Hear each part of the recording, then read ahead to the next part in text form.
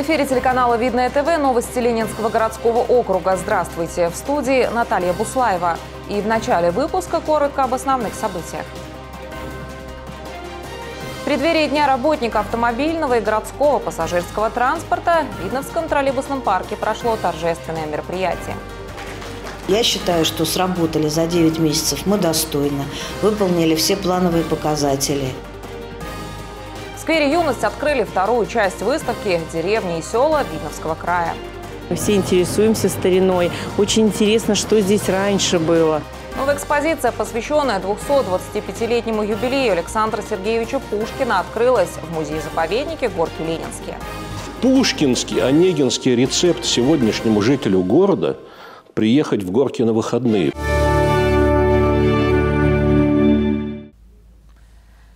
Видновском троллейбусном парке прошло торжественное мероприятие, посвященное Дню работника автомобильного и городского пассажирского транспорта. В честь праздника более 20 сотрудников предприятия были награждены почетными грамотами и благодарственными письмами. Троллейбус не просто один из любимых видов общественного транспорта видновчан, но еще один из самых востребованных. По городу курсируют 17 машин, которые перевозят более 6 тысяч пассажиров ежедневно. Хочу поблагодарить всех вас за многолетнюю, ежедневную, сложную, напряженную работу. Коллектив Видновского троллейбусного парка на деле доказал, что способен решать самые сложные нестандартные задачи. Желаю им, естественно, процветания, всем здоровья, счастья, успехов, терпения в нашем нелегком сегодняшнем дне. И благодарю их за их такую хорошую работу. Жители очень довольны. Это самый любимый транспорт нашего округа.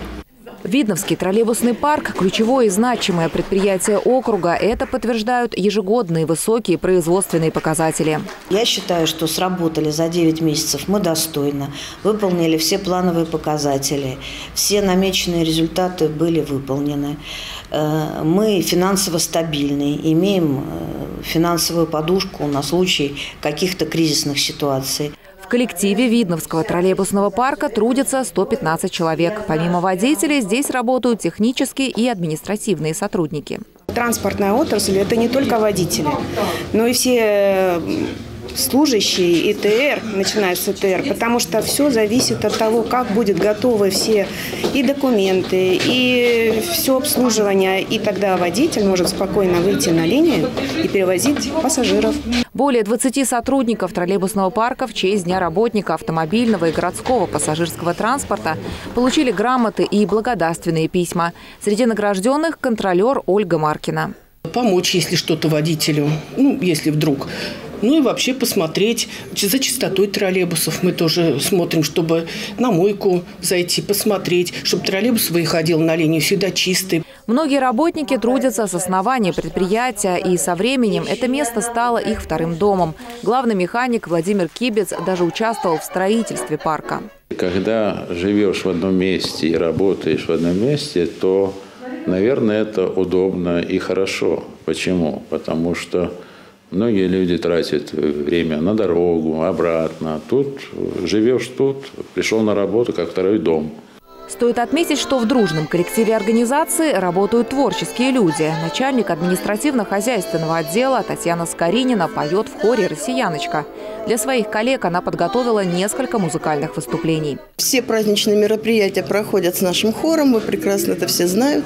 Вот. И здесь, значит, просто ребята уже привыкли, что я как-то их тут поддерживаю. Вот. Поэтому я здесь сегодня. Торжественное мероприятие продолжилось праздничным концертом. Наталья Буслаева, Кирилл Иванов. Иванов, Ольга Садовская, Видное ТВ.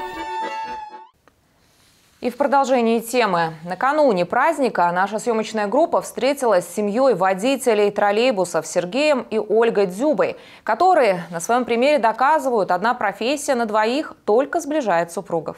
Ольга Дзюба выросла в семье водителя троллейбуса. Признается, что о другой профессии даже не задумывалась.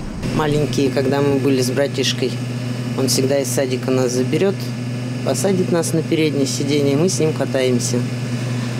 Ну и, конечно, нарушал правила дорожного движения, давал немножко руками пошалить, крутили, вертели. Нравилось. И своего будущего мужа Ольга тоже встретила в троллейбусном парке. Познакомились во время рабочего процесса. Сергей помог устранить неполадки в машине. Вылетели штанги, слетел у меня башмак, будем так говорить, головка только приемника. Ну, это, опять же, тоже не женская работа. Но он подошел, помог, закрепил, подкрутил. И на следующий день здравствуй, на следующий день, через день цветочек, конфетку, шоколадку. И вот уже 24 года они вместе. За это время супруги сменили несколько городов и мест работы. Из родной Уфы сначала переехали в Санкт-Петербург, потом в Москву. Но в итоге отдали предпочтение уютному городу Видное, в котором купили квартиру и стали водителями местного общественного транспорта. Город Видный очень хороший городок. Он спокойный, тихий, маленький такой, как сказать.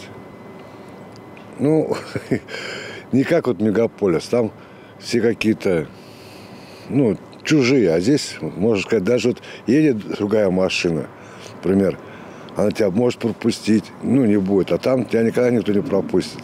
А здесь, ну, добрые люди, хорошие. Супруги признаются, что работа на одном предприятии их только объединяет.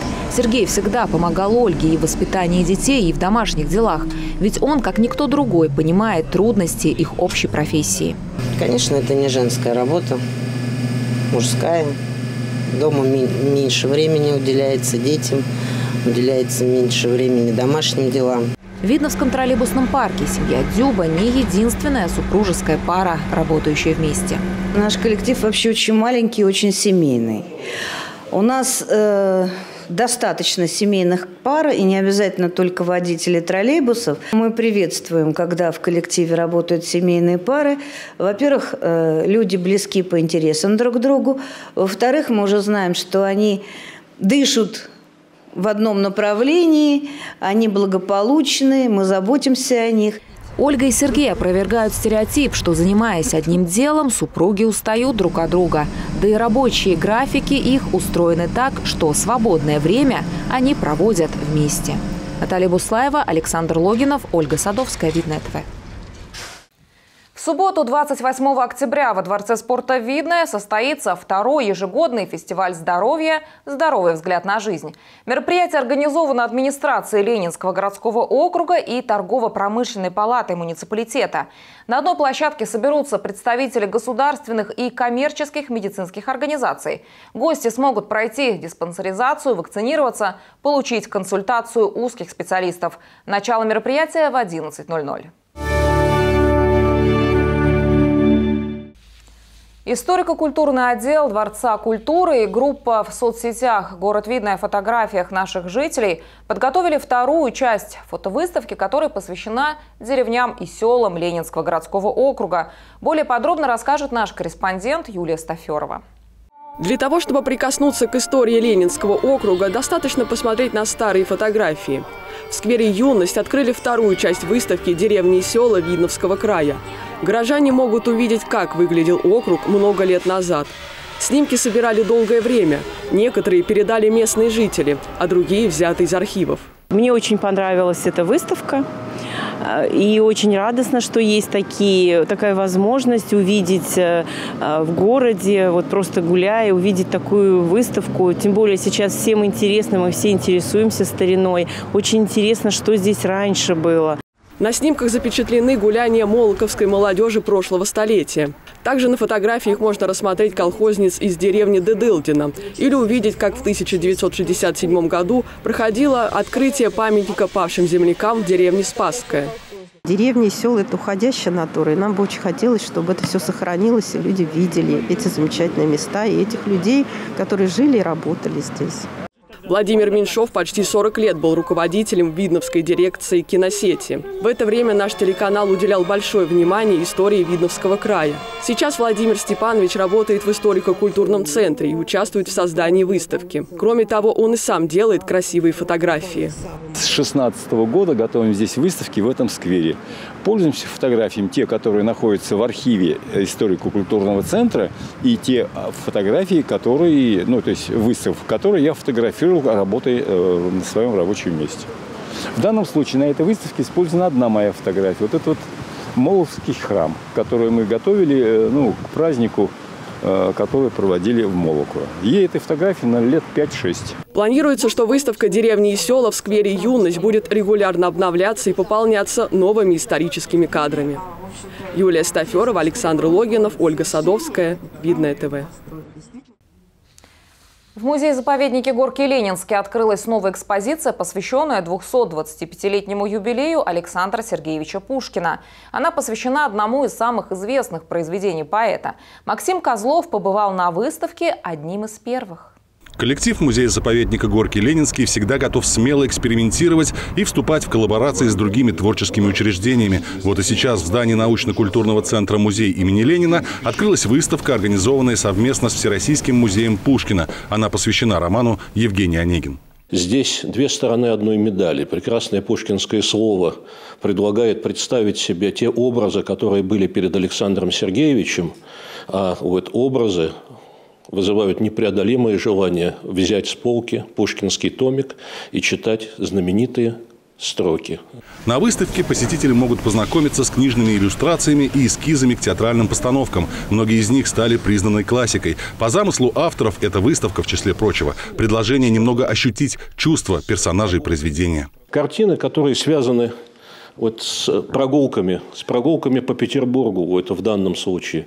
Здесь вот природа, которая столь напоминает природу это наших горок. Пушкинский, онегинский рецепт сегодняшнему жителю города приехать в горки на выходные. И эта выставка достойна того, чтобы ее пройти, а вернувшись домой, взять с полки томик Пушкина и обратиться к его великому пушкинскому слогу. Экспонаты представлены таким образом, что зрители вновь смогут вспомнить основные сюжетные линии произведения, посетить театр, пройтись по улицам Петербурга, ощутить эмоции Татьяны Лариной, пишущей знаменитое письмо, стать свидетелями дуэли Онегина и Ленского. Выставка приурочена к 225-летнему юбилею поэта, но в этом году есть и еще одна круглая дата – Пушкин начал работу над первой главой Евгения Онегина в 1823 году и закончил в 1831. Таким образом, сегодня у нас сейчас еще и 200-летие начала работы над Евгением Онегиным. На экспозиции представлено более 40 экспонатов. Для посетителей музея-заповедника Горки Ленинские вход свободный. Выставка будет работать до 12 ноября. Максим Козлов, Александр Логинов, Ольга Садовская. Видное ТВ. Голосование по строительству тротуаров вдоль региональных дорог Подмосковья продлится до 31 октября. По итогам опроса объекты, получившие наибольшую поддержку от жителей области, будут включены в программу на 2024 год. Для участия в голосовании необходимо зайти на сайт опроса, найти свой муниципалитет на интерактивной карте, выбрать участок и нажать кнопку «Проголосовать». Обязательное условие – регистрация на госуслугах. Часть тротуаров дорожники оборудуют пониженным бордюрным камнем, съездами и тактильной плиткой для комфорта маломобильных граждан. В рубрике «Афиша выходного дня» мы расскажем вам о том, как можно провести предстоящую субботу и воскресенье. В субботу 28 октября в 12.00 историко-культурный центр представляет литературно-музыкальную композицию «Правды искать». Прозвучат стихи и музыка Сергея Рахманинова в исполнении Натальи Терехиной. Также в субботу во Дворце культуры «Видное» пройдет концерт творческого объединения «Тарантас». Начало мероприятия в 17.00. Вход платный от 250 до 500 рублей. В воскресенье 29 октября в Доме культуры «Буревестник» села Молоково состоится музыкальная экскурсия по родным местам. Концертная программа с рассказчиком и классическим камерным квартетом. Начало в 12.00. В 16.00 в воскресенье во Дворце культуры «Видное» вас ждут на концерт памяти Муслима Магомаева. Песни знаменитого баритона в исполнении Вячеслава Ольховского. Внимание! Вход платный от 250 до 500 рублей. А в Доме культуры «Буревестник» в воскресенье музыкальный комедийный спектакль для всей семьи «Врун из Тридевятого царства». Вход по билетам. Начало в 17.00. Хороших и приятных вам выходных! И это все новости на сегодня. В студии была Наталья Буслаева. Я и мои коллеги желаем вам только хороших новостей. Всего доброго и до свидания.